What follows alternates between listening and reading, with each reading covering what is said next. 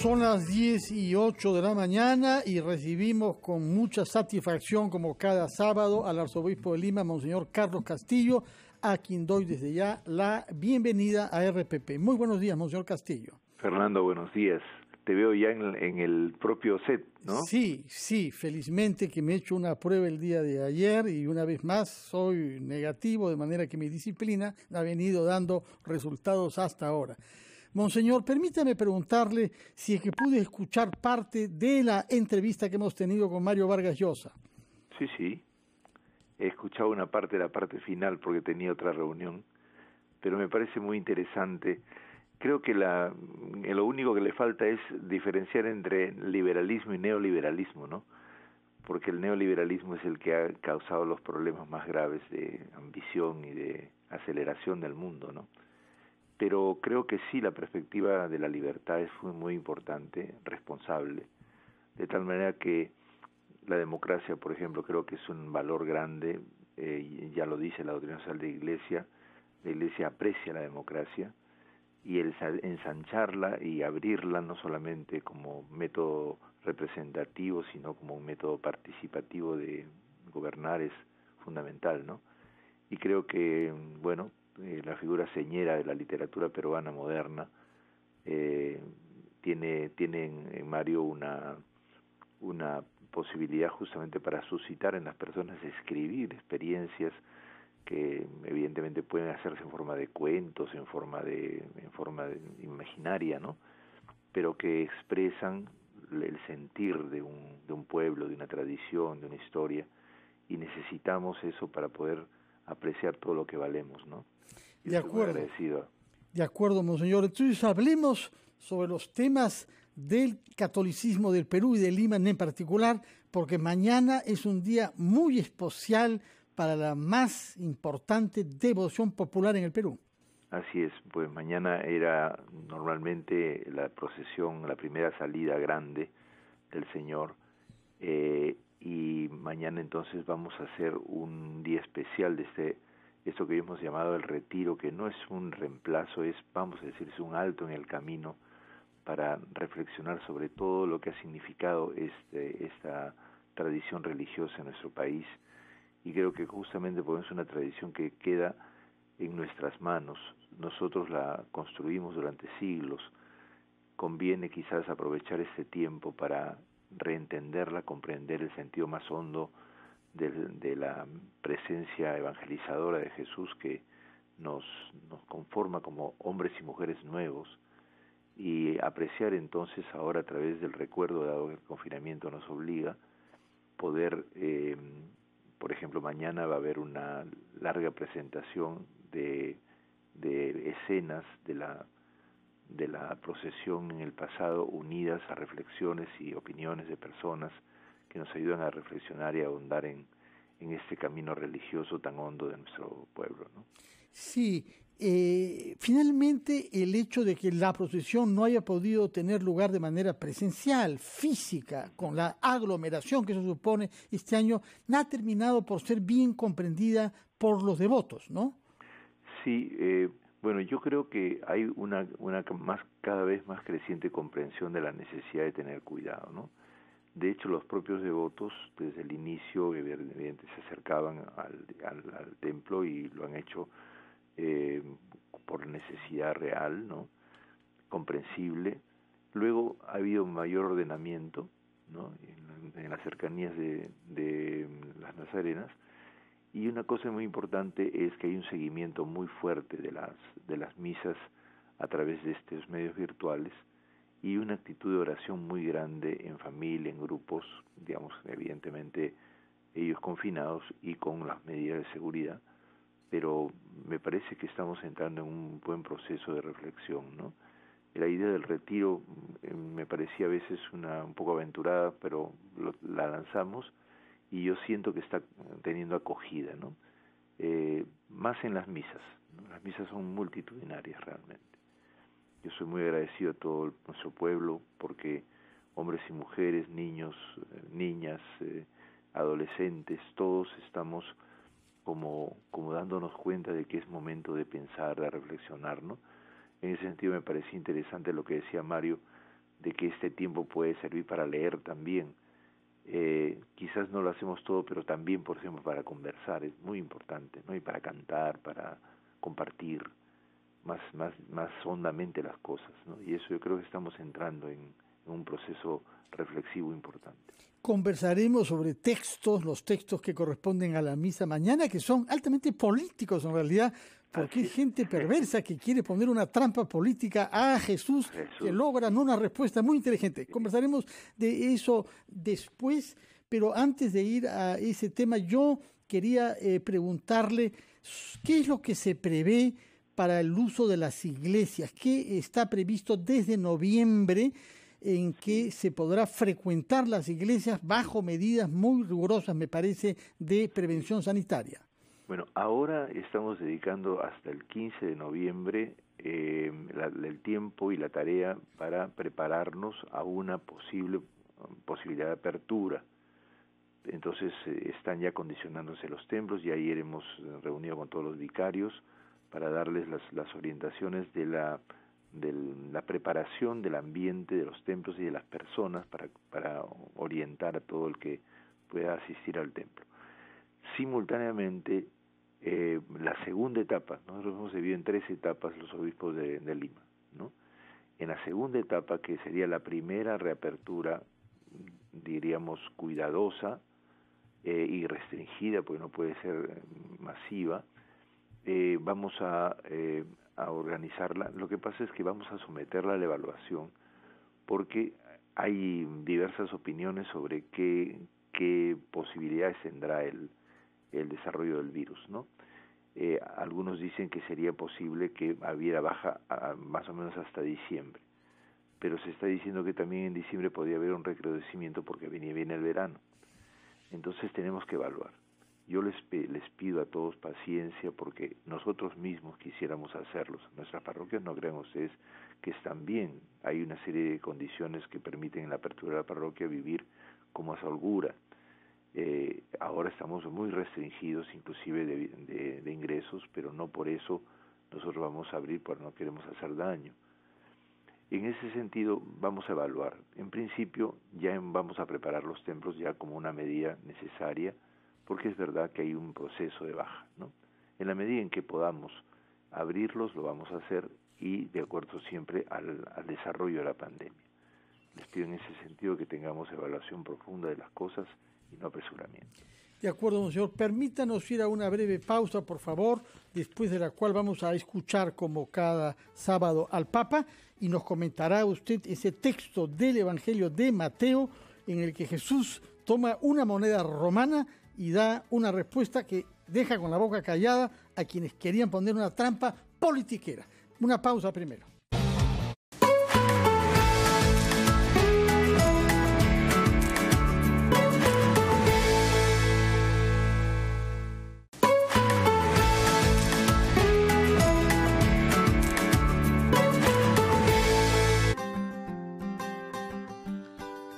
Hermanos y hermanas, en la Biblia encontramos el libro de los Salmos, que está compuesto solamente de oraciones.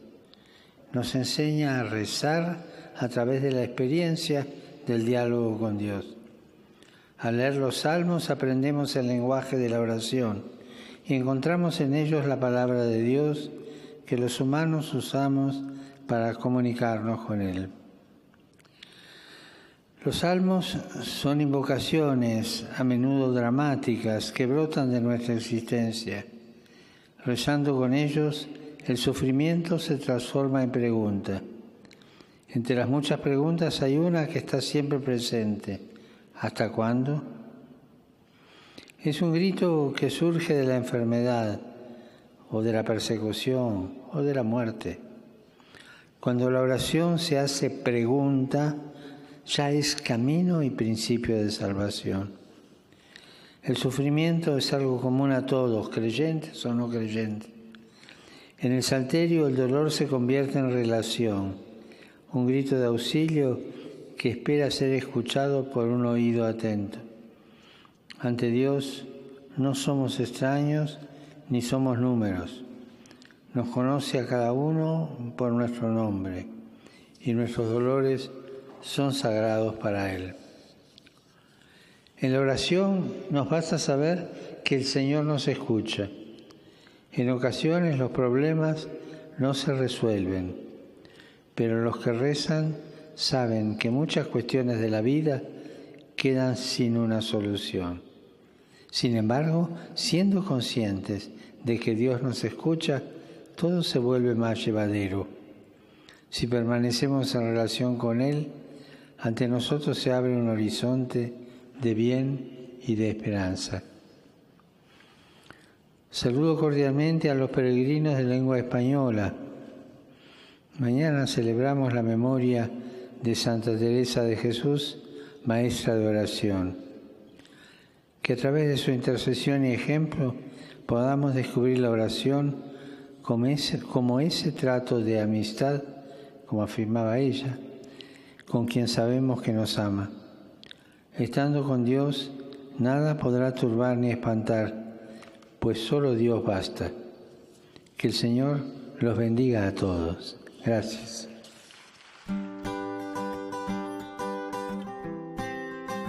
Bueno, hemos escuchado al Papa, Monseñor, que como usted tiene una, digamos, cariño particular por los salmos, el salmo que corresponde en la misa de mañana es el salmo 95, eh, que pide cantar un cántico nuevo. Es decir, ya hace más de 2.400 años hay una opción por la renovación en el propio salmo.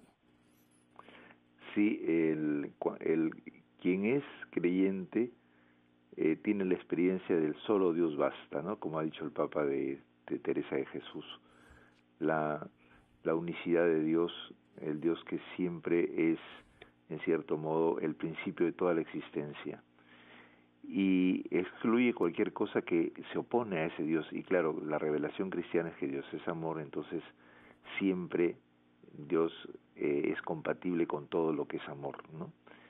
Eh, de tal manera que la oración es un cántico nuevo cuando uno renueva la capacidad de amar en circunstancias muy concretas en donde Dios le abre esa posibilidad, ¿no? Eh, porque justamente ese Dios no, no está lejano a nosotros, sino que está inserto, suscitando permanente su amor, permanentemente su amor eh, en la historia para que digamos, lo que vivimos con Él eh, y, de, y por parte de Él sea relevante en el mundo, ¿no? que a veces nosotros, evidentemente, como nos ha creado con libertad, cada uno decide no cómo va haciéndolo en la vida, pero hay un ser que le habla siempre, que desde el, desde el fundamento, ¿no? como dice, desde lo profundo clamo a ti Señor, ¿no? desde el fundamento. Y ese fundamento es el amor, pues, ¿no? es, Dios mismo. ¿no? Por eso solo Dios basta, porque somos hechos de amor y entonces solamente a través de, de esa experiencia de amor podemos resolver cantidad de problemas que tenemos, y a veces pues no se pueden resolver, pero hay que ir poco a poco esperando cómo resolverlos. Ahora, ese salmo, como todos los salmos en general, proclaman que hay esta realidad del amor de Dios por encima de los poderes políticos de los reyes. incluso el texto de Isaías que se va a leer mañana habla sobre el emperador persa Ciro, explícitamente mencionado como un desafío político al, al pueblo de Israel. Y el tema se presenta en el Evangelio que se le da mañana, puesto que se dice que algunos enviados seguidores del rey de la época, el rey judío de la época, Herodes, aunque judío me parece que no lo era completamente, tenía una relación complicada con el pueblo judío, Herodes, le mandan y le ponen una trampa de retórica politiquera, si, si es que me lo permite usted decir así, porque le muestran una moneda romana y le preguntan si es correcto pagar impuestos al ocupante romano. Es decir, quieren ponerle un desafío nacionalista y político a, Jesús.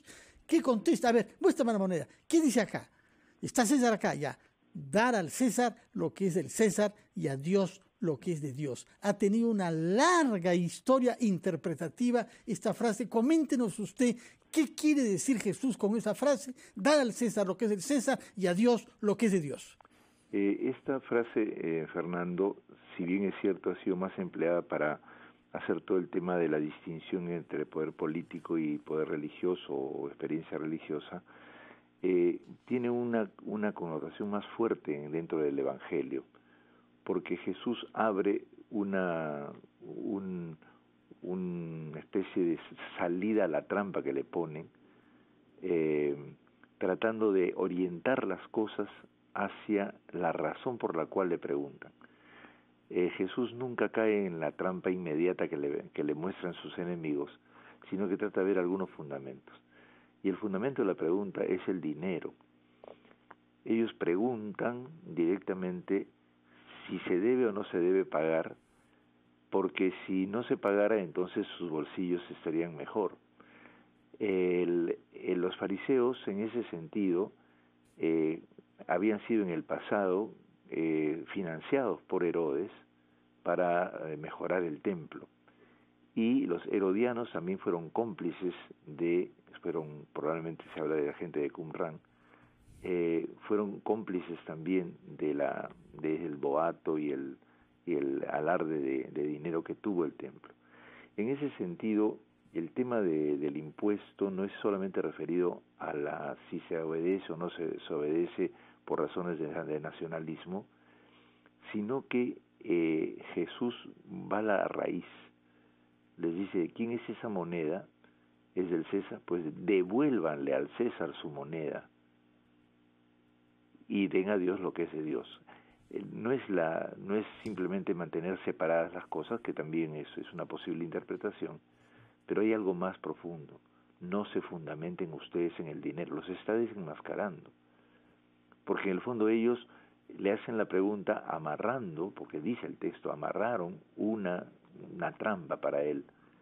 Eh, y la trampa consiste sobre todo en que Jesús quiere eh, ser metido en un lío interno, pero Jesús sale de ese lío interno diciéndoles, hipócritas, ¿por qué me tientan? ¿No? Eh, devuelvan al César, es decir, ese dinero que tiene el efigie del César es del César, déselo a él, devuélvanselo.